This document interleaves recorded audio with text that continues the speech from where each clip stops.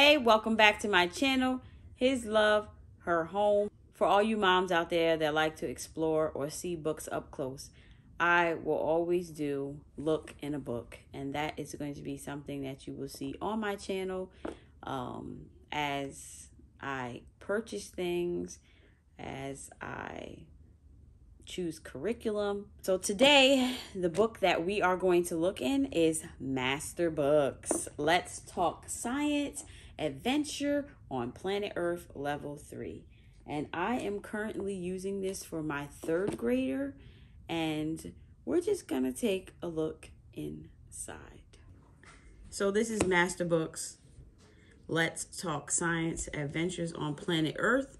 And this is level three. This is meant for third graders. Um, this is a very conversational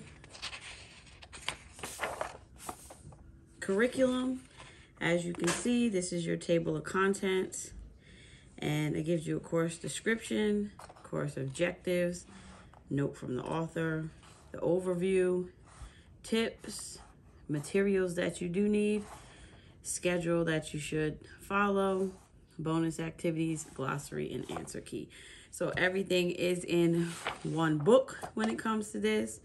This is your course description, your course objective, explore elements of ecology, including the food chain, climates, forest structure, symbiotic relationships, stewardship, and decomposition. Discover that science teaches many lessons about God and our relationship with Him.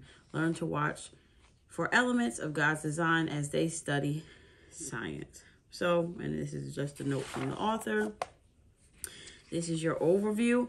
You do need a science notebook in the lessons, I will show you, they might have to copy down the definition or um, draw a picture, which is cool. Kids like to do that, especially younger kids. They like to draw and have fun with art.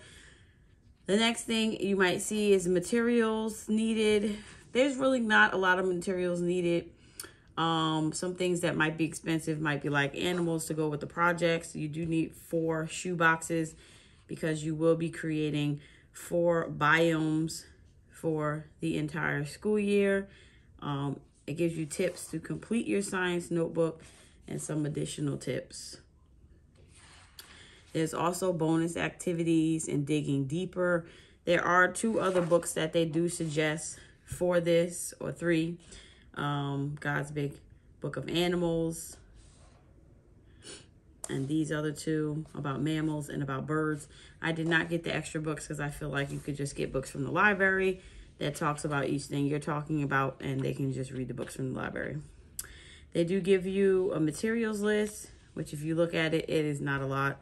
Um, and some of the stuff is mostly basic stuff you can get from, you can use at home.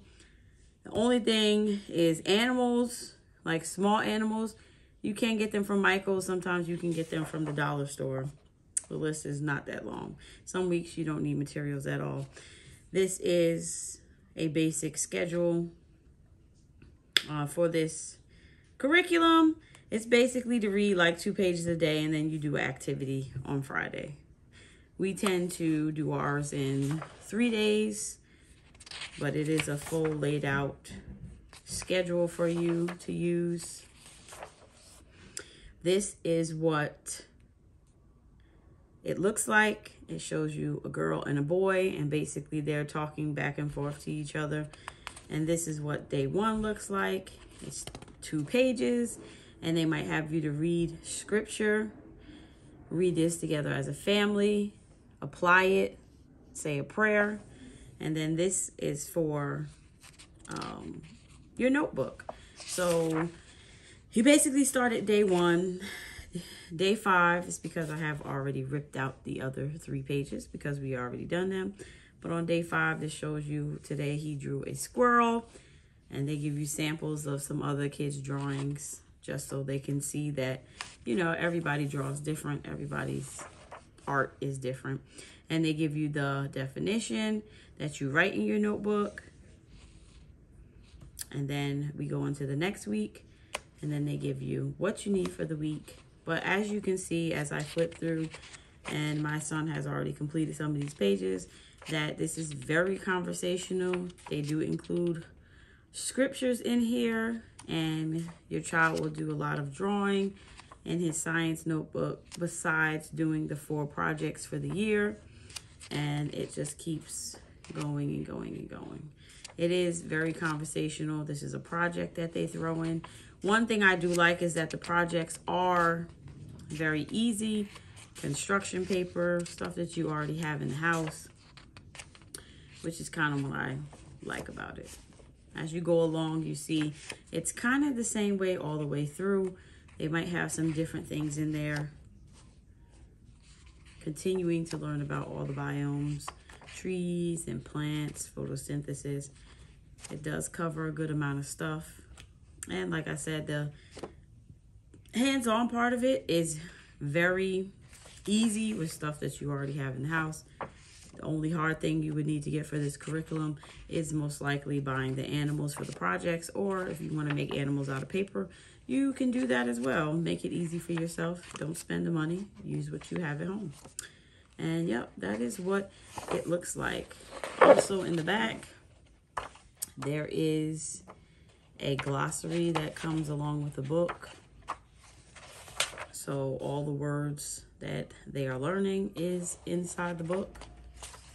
Um, the lessons are short, um, except for the projects. The projects do take a little bit longer. It does touch on animal death if you did want to know that. The last thing I want to show you is what a sample of the project might look like. And here we go. So this is the Boreal Biome Project.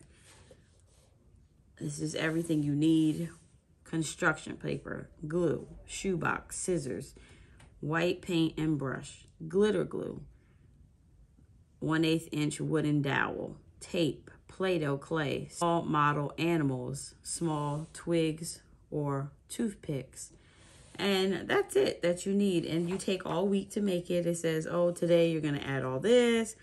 And then you go to the next day and it tells you to do this part and then on the third day, you add a little bit more to your shoebox. Then on the fourth day, you add a little bit more to your shoebox.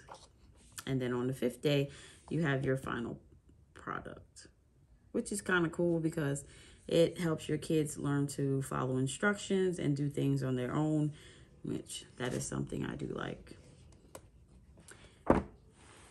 The only thing I can say is if you want to invest in the other books to add a little bit more, um, I am a lover of master books, but I feel like I do get stuff from the library to add to it just to give it a little bit more because it is a very open and go and gentle curriculum to me. That is just my opinion.